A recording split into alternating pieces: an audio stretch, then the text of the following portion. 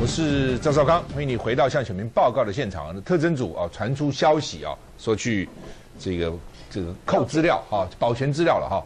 本来侦查不公开啊，本来特征组应该非常隐秘的，结果居然都到了所有媒体的头条，我也不知道怎么回事，到底是特征组泄密，还是国发基金有人讲啊？因为去保全资料都很难说了哈。但是不管怎么样，我们看一下这个有关的新闻。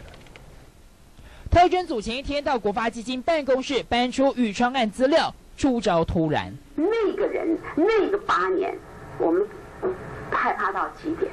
我们台湾不能斗退路。这个领导人的人格特质跟他的道德操守，对我们台湾未来的前途发展何等重要。这就为什么我们要追这件事情。国民党立委试图替宇昌案加温，只是司法两面刃。两千零七年马九选举时遭逢特别废案，一审无罪后，选前地检署上诉，激发蓝军投票。但宋楚瑜选前爆发新票案，成为选情逆转关键。不管咱的经济事务经济会，每天做的事情，就是在抹黑蔡英文。蔡英文没有主动将宇昌案送交特侦组以求自清，现在特侦组主动侦办，让绿营逮到操作机会，大批司法破坏。接下来让特侦组何时约谈蔡英文，或者何时公布调查报告，都陷入两难，并将成为牵连选情的关键。要求资料公开。却反对跨党派的调阅小组，既要求调查，可是又骂人家说是司法介入，是打手。特侦组介入宇昌案，连负责检察官的身份都不愿意公布，但侦查动作已经掀起新一波政治风暴。蓝紧咬蔡英文自肥，绿反批政治追杀。特侦组出手为宇昌案另辟新战场。这是黄泉讲台北采访报道。好，那么特侦组这出手，因为我刚刚讲本来应该侦查不公开，就不知道怎么回事，现在搞得大家都知道哦，而且都在媒体的头条哈。那到底对这个案子什么影响啊？因为以前民党常常讲一句话，就是当选过关，落选被关嘛。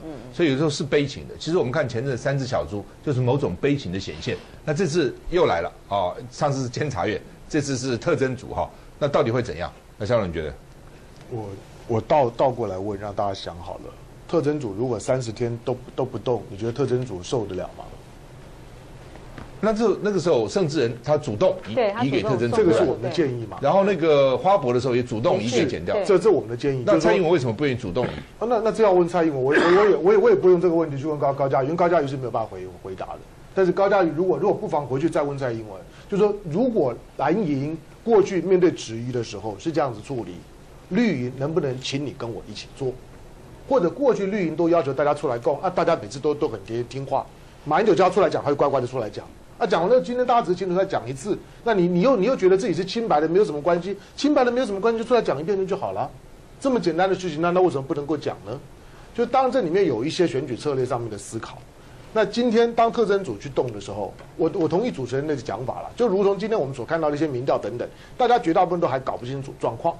就像苏家全的农舍嘎方的那个农舍还比较容易想象，因为它总是有一栋很漂亮农舍在那地方。或者你今天看到就是说猛猛男秀，不管你觉得猛男秀严严不严重，他总是看到有些观感上面的问题。可是这个是完完全是高来高高高去的。然后呢，其实有一些个有些各说各话的空间，一般人要进来确实比较困难。但是从一个从一个政治上面的一个监督的角度来来讲，不能够试着挑软的吃，挑那种老百姓容易懂的、有有媒体宣传效果的，然后呢就下就下手。而真正重要的事情反而把它放一边。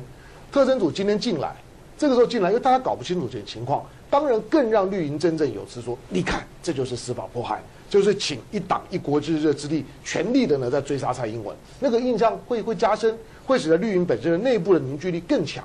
当然，回过头来讲。会使得蓝营要扩充自己的板块，甚至于要要要去解释说这不是我发动的，何等困难！因为基本上面大部分的台湾的老百姓，如果他对于政治呢有高度的兴趣的人，他总是相信司法是可以操作的。所以今天你要去解释说啊，这个都是完全是特征组自己的动作，马英九不可能去介入的。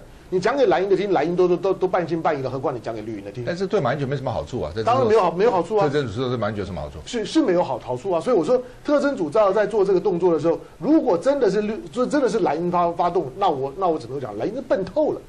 你怎么可能说在这个时候，你如果真的可以去操作特征组，让特征组在这个时候去做这种，就是说意图已经开始展开调查的动作？那特征组，我相信他必然的，他看到这种案案子的时候，他总要第一个保全证的证据，第二个他要先了解一下状况的状况。我不认为他在选前会有一些呢比较具体的一些的侦办的行动。他如果现在再去约谈什么蔡英文、何美月啦，或者搜索了马英九不用选了，我就宣布马英九不用是选。他当然有真的有可能，那那我那我们就只能够假定，就是说特征组里面呢有很多的就蓝皮绿绿股，甚至绿皮绿绿股。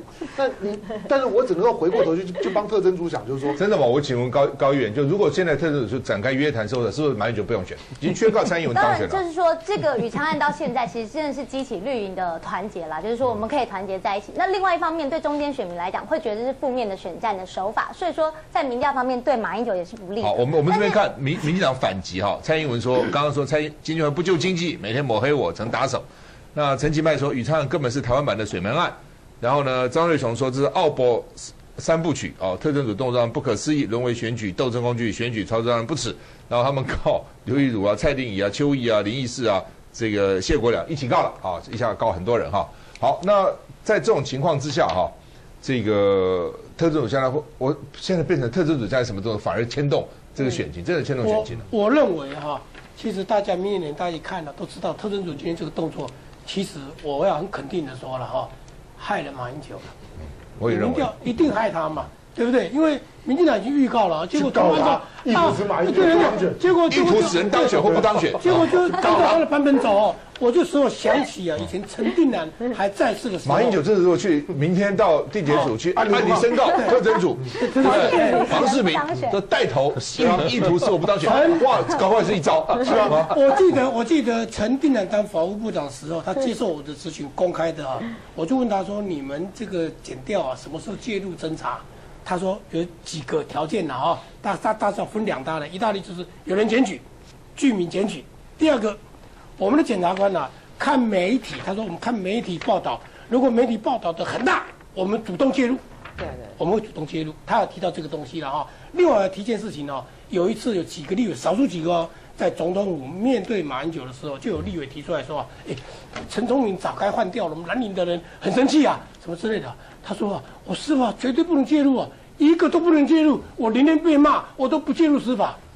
马英九是这样子的，私底下讲，那时候立委只有几个，少数几个而已，他就这样子回答，公开这样讲，私底下也这样讲，所以清清楚楚，马英九不会介入司法。可是今天来这样的一招，真的是害了他嘛？他不会介入司法，我他他我完全身边的人会啊，他不会，但是他身边的人会没有啊。的是啊不会，没有人敢马英九介入啦不会介入司法，没有完全相信。但是不会介入司法，可以控告司法嘛？这可以吧？我告你意图说我不当选，你害我嘛？害特征主义图是被干嘛你骂成这样，不是被害了吗？好，马总统要告特征组应该是酷手版的了。哈 我我这样以以我对黄世明总统的，我当然不是说深交，但长期观察啊，他这个人不是任何的政治人物指使他人做的。我也是认为他这个动作就是看到这个，他就进行动作，这是他的职责了。这这我觉得这本来就应该，而且我们做出呼吁嘛哈。我曾遇到一位调查局已经退休的高手，他说啊，办案啊，重不得轻不得，快不得慢不得，他的经验常天人交战，我了解。但这个事哈，其实苏家全也为龙社风波、为美兰秀出面道歉了，蔡主席也为世子风波为什么要出来？利害关系啊，民调落后了。当然，因为民调批准他不愿意，但是我这样讲，主动移送以及主动解释，会对我们因为未来领导者会有尊敬的。我觉得差拿捏在这里了对了。。不过这个事情哈，因为还有民调，基本上还有一半人还搞不清楚，嗯，所以这事情还可以发展，发展到最后怎么样很难讲。我们继续下再回来。